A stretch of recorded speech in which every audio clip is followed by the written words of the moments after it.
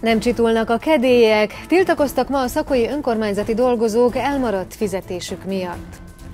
Együttműködési megállapodás, az új büntetés végrehajtási intézetek dolgozóinak képzési helyszínt, illetve szállás lehetőséget biztosít a Nyíregyházi Egyetem. Szemléletváltás szükséges, a népesség öregedésével együtt növekszik az egyes társadalmi rétegek negatív hozzáállása az idősekkel szemben.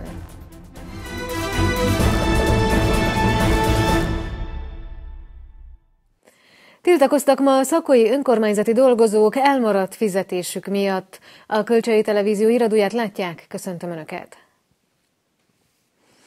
Még májusban vonták meg Szakolytól a normatív állami támogatást, ezért közel 300 alkalmazott még mindig nem kapta meg október havi fizetését. A belügyminisztérium segít majd az önkormányzaton. A dolgozók egyhavi bérét közel 17 millió forintot kap hamarosan a település. Hangos tömeg várta a szakói polgármestert péntek délben, a helyiek az elmaradt fizetésüket szeretnék. Az önkormányzati dolgozók még az október havi bérüket sem kapták meg.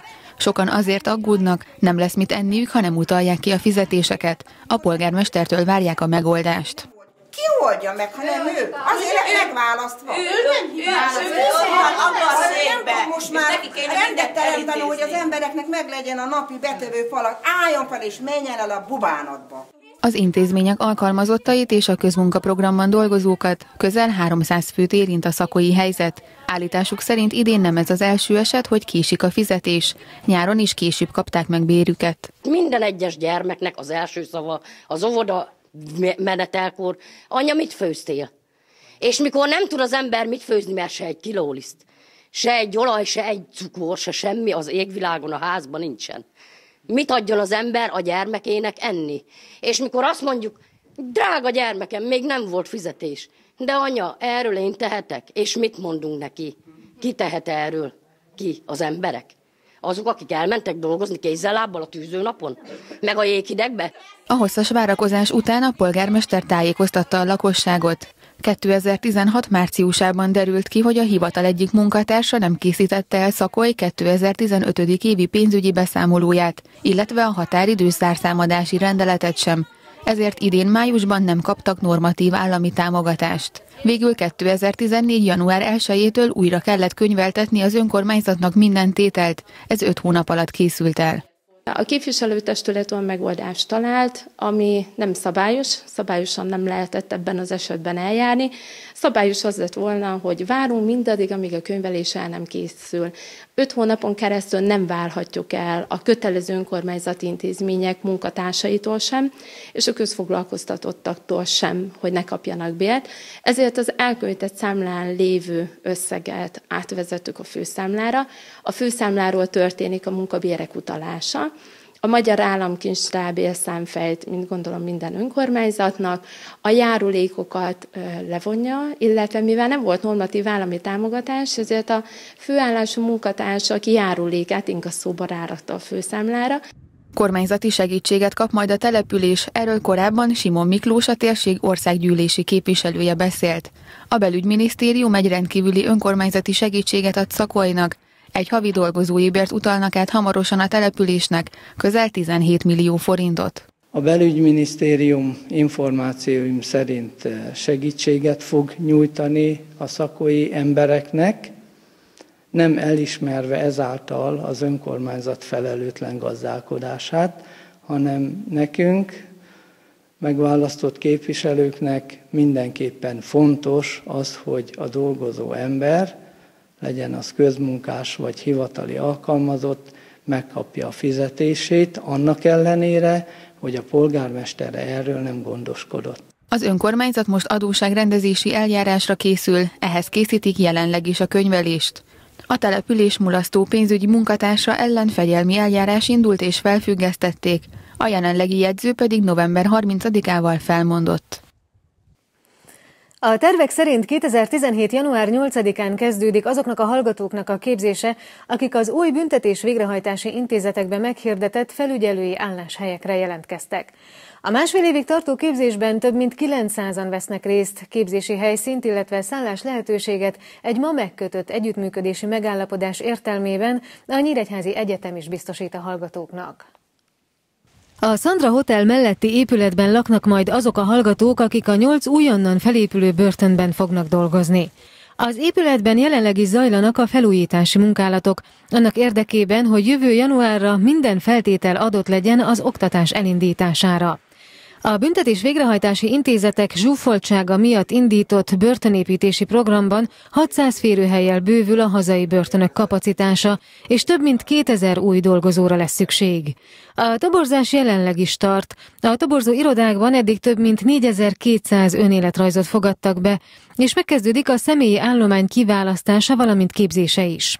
Jelen pillanatban a képzési rendszerünk 6 és fél hónapos, felügyelőket képzünk a börtönökbe, és várhatóan egy 2000-2500 fő képzése fog megtörténni a 2018-as év közepéig, mire a börtönök elkészülnek.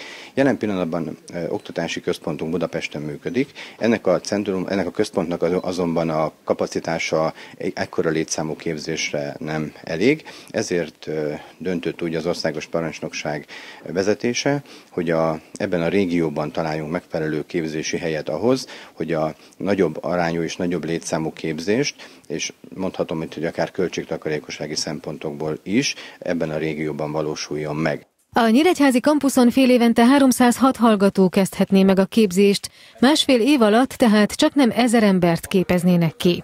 A Nyíregyházi Egyetem az Országos Büntetés Végrehajtási Parancsnoksággal kötött együttműködési megállapodás alapján helyszínt fog biztosítani 2017. január 8-ától vélhetően másfél éves időtartamra. Erre az időtartam alatt a kollégiumunkban közel 305 fő részére szállás elhelyezést fogunk biztosítani, tantermeket, illetve szeminárium és előadó termeket az oktatók oktatásra és az oktatók számára. A képzéseket tartó 15 fős oktatói állományt már felvette a büntetés végrehajtás. Egyre nagyobb problémát jelent Európában a népesség előregedése. A szakemberek szerint ezzel együtt növekszik az egyes társadalmi rétegek negatív hozzáállása az idősekkel szemben, ezért fontos a szemléletváltás. Ebben a témában rendeztek ma konferenciát a Debreceni Egyetem egészségügyi karán, arra keresve a választ, milyen technikai egészségügyi lehetőségek vannak az idős emberek megsegítésére. A fejlett európai országokhoz hasonlóan Magyarország számára is az egyik legnagyobb demográfiai kihívás a társadalom öregedése, derül ki a Központi Statisztikai Hivatal 2015-ben publikált elemzéséből. A tartósan alacsony termékenységgel és a várható élettartam emelkedésével csökken a gyermekkorúak aránya, az idősebb korosztályoké azonban emelkedik, így a csökkenő arányú aktív korosztályokra jelentős eltartási teher nehezedik. A 14 éves és ennél fiatalabb népességre jutó 65 évesek és annál idősebbek arányát mutató öregedési index 2012 óta minden évben növekszik, tavaly például 100 fiatalkorúra nagyjából 126 idős jutott. Az eltartottsági ráta szintén emelkedő adatai szerint az elmúlt négy évben a gyerekek és az időskorúak eltartása egyre növekvő terhet jelent a munkavállalási korú népességnek. Sajnos a társadalom bizonyos vonatkozásokban, társadalomban megjelent már az úgynevezett ageizmus. Ez egy szakkifejezés. Az emberek bizonyos csoportjai, rétegei, negatív attitűdjei az idősekkel szemben csak azért, mert idősek. Magyarul tehát például a fiatal nem szereti az idős embert, mert elveszi elől a munkát és sok hasonló egyéb ilyen megnyilatkozása is vannak a társadalomnak. Nem azt mondom, hogy a társadalom idős ellenes, de mindenképpen vannak ilyenfajta jellegzetességei. A szakember szerint egyre több a beteg idős ember, ellátásuk bizonyos feladatait pedig egyre inkább a szociális ellátórendszer veszi át, az amúgy is leterhelt egészségügytől. Az ágazatban dolgozó szociális munkások, ápolók és pszichológusok idős ellátási munkáját nagyban segítik az internet és számítógép alapú rendszerek ezeken a területeken is megjelenik ma már az a fajta modern technológia, amely ha nem is váltja ki a szükséges munkaerőt, de segíti a munkájukat. Mire gondolok? Ugye nem régen zajlott le Magyarországon egy úgynevezett INDA projekt, ez a Interprofessionális Nemzeti Demencia Alapprogram, és annak a keretében már lehetett találkozni olyan fejlesztésekkel, amelyet nem csak számítógépeken, hanem mobileszközökön is lehet futtatni, és például amelyek alkalmasak arra, hogy előre jelezzék például a demenciának a bekövetkeztetés, vagy enyhefokú demenciának a jelenlétét, és léteznek olyan úgynevezett úgynevezett állapot felmérő eszközök, ez jelenti a fizikai aktivitást, a mentális, a pszichés állapotot, amelyek ma már léteznek, sajnos magyarul még nem, de angol nyelven léteznek a legkülönfélébb platformokra. A szociális szakemberek számára szervezett konferencián az öregedéssel kapcsolatos témákról, így a mértékletes táplálkozásról, a társas kapcsolatok jelentőségéről, illetve az időskorban jellemző megbetegedésekről tartottak szemináriumokat a meghívott előadók. A székely hadosztályra emlékeztek Nyíregyházán a Hősök terén. A magyar-román háború azzal kezdődött, hogy kimondták Erdély csatlakozását a román királysághoz. 1919 áprilisában a kommunisták átvették a hatalmat Magyarországon, a hadsereg pedig megpróbálta visszafoglalni Erdélyt, kirobbantva a háborút. A székely katonák nehéz körülmények között hiányos felszereléssel és hazafias érzelemmel küzdöttek hazájukért. Székely hadosztály, ez annak a méltatlanul elfeledett katonai egységnek a neve, amelyet 1918 végén az Erdélybe betört román csapatok elleni védekezésként hoztak létre, hangzott el a Magyarok Szövetségének nyíregyházi megemlékezésén. 1916-ban megtörtént egy, egy betörés Székelyföldre. Menekültek ezrével, tízezrével a civilek, mert a katonák azok kinn a fronton voltak. Ez is jellemző a az aláokra. Na ez megmutatta a fronton harcoló katonáknak, mert természetesen híre ment, hogy ide fegyver kell. Nos, amikor vége lett 18-ba, akkor a lefegyverzést nem vették magukra, és fegyveresen jöttek haza. Kolozsváron meg is alakult a székelyhadosztály, és ezen a 120-160 kilométeres fronton az a 12-13 ezer ember úgy volt képes tartani,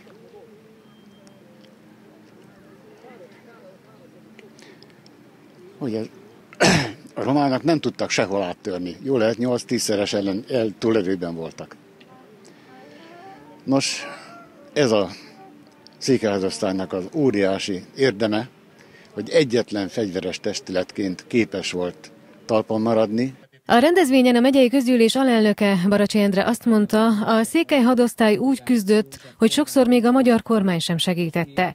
Sokan gyanakvóan, akár ellenségesen viszonyultak a székely hadosztályhoz. Például volt egy olyan kormánybiztos, aki, aki Pogány Józsefnek hívtak, aki például a ruházat, illetve a hadianyag kiszállításakor például olyan lövegeket, olyan ágyukat küldött a székely hadosztálynak, amit szándékosan előtte megrongált, hogy azok használhatatlanok legyenek, és ilyen körülmények között kellett nekik védeniük a hazát és a magyarságot, messze-messze távol az otthontól. Úgyhogy úgy gondolom, hogy fontos rájuk emlékezni, fontos az emlékezetüket megtartani, és azt hiszem, hogy táplálkozni is tudunk belőlük. 1919-ben a Magyar Vörös Hadsereg és a Román Királyi Hadsereg is támadta a székely hadosztályt. A székelyek két tűz közé kerültek, és végül letették a fegyvert. 60 fogyatékkal élő diák látogatott el a szabolcs már Bereg megyei katasztrófavédelmi igazgatósághoz ma délelőtt. A Bárci Gusztáva, Ridens és a Göllesz iskola tanulói a Fogyatékosok Világnapja alkalmából ismerhették meg a tűzoltóságot.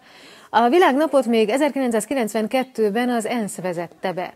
A Most Élsz Egyesület szervezésében a diákok három turnusban ismerhették meg a tűzoltóautókat, az egyenruhások mindennapjait és a katasztrófa védelem épületét. A Most Élsz Egyesület a katasztrófa védelmi igazgatóságnál egy tűzoltó laktanya bejárást, illetve múzeum látogatást tervezett, szervezett a mai nap folyamán. Egyesületünk folyamatosan figyelemmel kíséri a sérült embereket, nem csak az autistákat.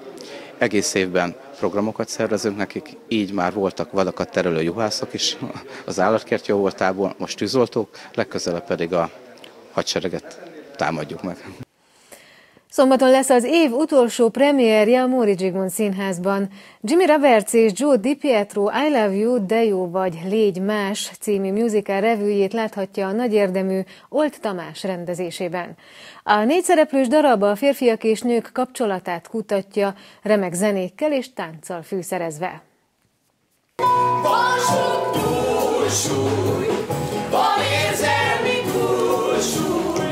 Két nő és két férfi. Ők a szereplői a musical revűnek, amelynek központi témája a férfi és a nő, akik, ahogy Karinti megfogalmazta, soha nem fognak egyetérteni, mert mindkettő mást akar, a férfi a nőt, a nő a férfit.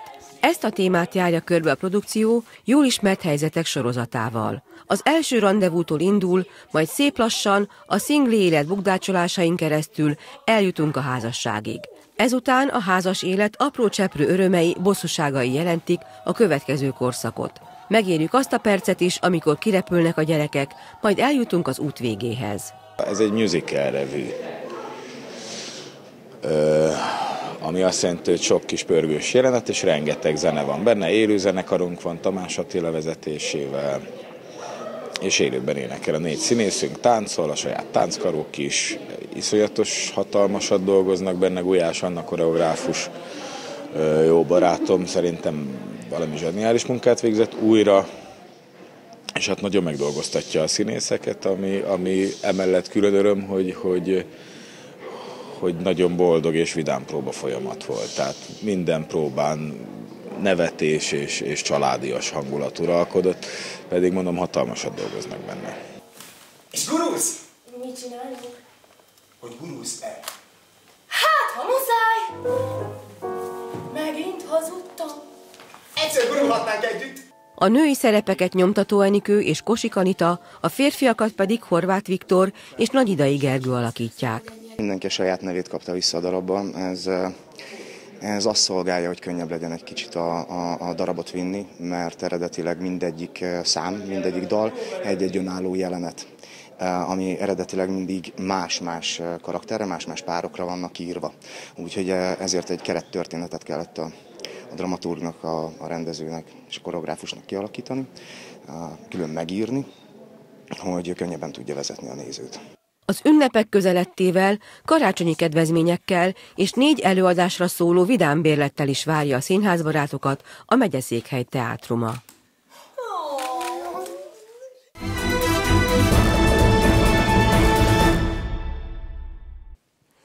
Kisvárdán játszák a labdarúgó NB2 őszi záró fordulójának rangadóját. A tabella második helyén álló hazai csapat a harmadik helyezett Balmazújvárost fogadja. A mérkőzés 13 órakor kezdődik a Várkerti pályán. Egy évvel ezelőtt, november utolsó napján látogatott Kisvárdára a Balmazújváros, akkor a vendégek 5 0 vereséggel távoztak a Várkerti pályáról. Ezúttal jóval szorosabb mérkőzésre lehet számítani, ugyanis a Balmazújváros ebben a szezonban nagyszerűen szerepel, a hajdúságiak több fordulón keresztül vezették az NB2 tabelláját. A jó szereplés igaz a hazaiakra is, akik legutóbbi három meccsüket megnyerték, így kellő önbizalommal várhatják a forduló rangadóját, amelynek egyik nagy kérdése, hogy milyen minőségű pályára futnak majd ki a csapatok. Elég mély a, a pálya mindenhol, ugye is esős időszakok voltak, a pályatalajok se kedvezőek, Hát remélem, hogy alkalmas lesz arra, hogy játékot tudjunk játszani, nem pedig a felévelésekre szorítkozol mindkét csapat, mert azért az, az más kategóriába tartozik, és ez nem a mi játékunk volna akkor. Jelen állás szerint, ha így marad az idő, akkor azt hiszem, hogy lehet rá számítani, hogy egy jó játékkal, egy jó pályán eredményesek fogunk tudni lenni. A Balmazújváros legutóbbi három meccsén mindössze egy pontot szerzett, ettől függetlenül győzni szeretne Kisvárdán Feckó Tamás együttese. Kisvárdán nagyon nehéz három pontot elhozni bármelyik csapatnak, viszont mivel ez egy rangadó igazi háromesélyes, úgyhogy mi annak a reményébe utazunk, hogy három pontot távozzunk. A Kisvárda Balmazújváros mérkőzés vasárnap 13 órakor kezdődik a Várkerti pályán. A forduló további párosítása a következő, Szolnok Soroksár, Vác Mosonmagyaróvár, Cigánd Nyíregyháza Spartakusz, Szeged Dorog, Csákvár Siófok, Békés Csaba Grosics Akadémia, Sopron Cegléd, Puskás Akadémia Budaörs és Kozár Misleny Zalegerszeg. A baját fogadja a férfi kosárlabda HEP kupa 8 döntőjében a Nyíregyháza Blue Sharks. A tovább jutásról egy mérkőzés dönt, a találkozó szombaton 15 óra 30 perckor kezdődik a Continental arénában. Két hetet készülhetett a Baja elleni mérkőzésre a Nyíregyháza Blue Sharks, ugyanis az elmúlt hétvégén nem rendeztek fordulót az NB1B-ben. Ez az időszak arra is jó volt, hogy a kisebb sérüléssel bajlódó játékosok felépüljenek, és még egy Tiszóújváros elleni felkészülési meccs is belefért a programba. A csapat fiataljai két junior bajnokin is pályára léptek, voltak, akik az egyetemi bajnokságban játszottak, úgyhogy meccshiányra nem panaszkodhatnak a játékosok, aminek Sitkó Ernő szakmai igazgató kifejezetten örül.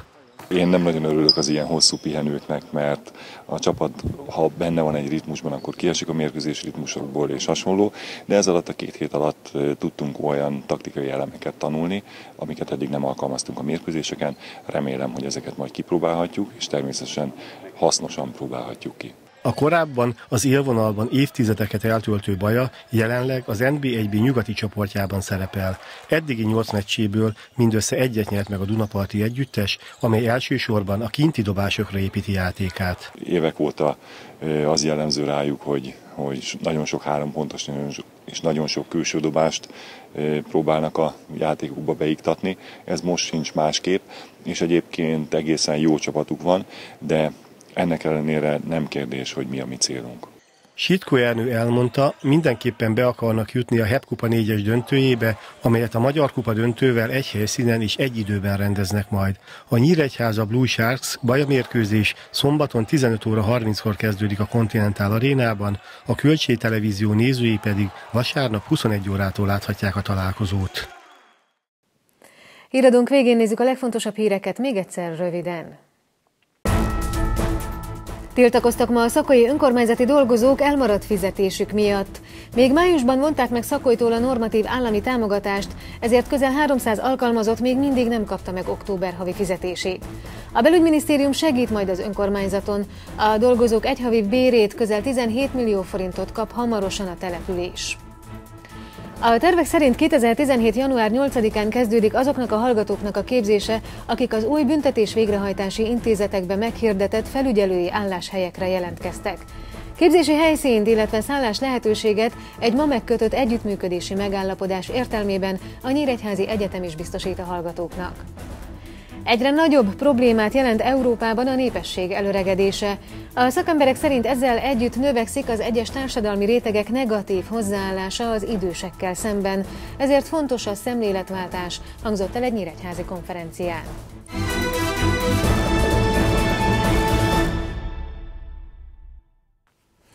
A Kölcsei Televízió híradóját látták december másodikán pénteken. Friss hírekkel legközelebb hétfőn este várjuk Önöket, szombaton és vasárnap pedig heti hírösszefoglalónkat, a krónikát láthatják. Műsorainkért és további tudósításokért addig is látogassák honlapunkat. Én köszönöm szépen a figyelmüket, viszontlátásra!